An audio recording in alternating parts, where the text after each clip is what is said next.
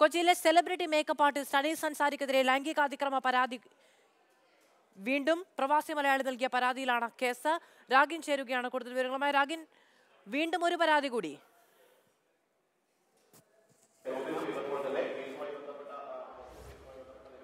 ഒരു കേസ് കൂടിയാണ് ഇപ്പോൾ വന്നിരിക്കുന്നത്. അനീസ് അൻസാരിക്കെതിരെ മറ്റൊരു കേസ് കൂടി രജിസ്റ്റർ ചെയ്തിരിക്കുന്നതാണ്. ആദ്യം മൂന്ന് കേസുകളാണ് ഉണ്ടായിരുന്നത്. ഇപ്പോൾ ഒരു കേസ് കൂടി രജിസ്റ്റർ ചെയ്തിരിക്കുന്നു.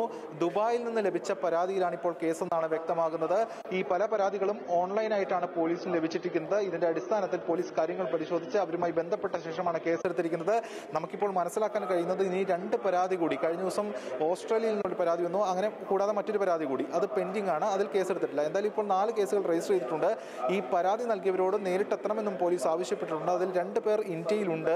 അവർ രണ്ട് പേർ അടുത്ത ആഴ്ചയോടുകൂടി കൊച്ചി പാലാരിവട്ടം പോലീസ് സ്റ്റേഷനിലെത്തി നേരിട്ട് പരാതി നൽകും അല്ലെങ്കിൽ നേരിട്ട് മൊഴി നൽകും എന്നാണ് ഇപ്പോൾ വ്യക്തമാകുന്നത്. എന്തായാലും ഇപ്പോൾ നാല് കേസുകൾ രജിസ്റ്റർ ചെയ്തു. ഈ കേസുകൾ രജിസ്റ്റർ ചെയ്തിട്ടും ഈ സെലിബ്രിറ്റി മേക്കപ്പ് മാൻ ആയിട്ടുള്ള അനീസ് അൻസാരിയെ പിടികൂടാൻ പോലീസിന് ഇതുവരെ കഴിഞ്ഞിട്ടില്ല.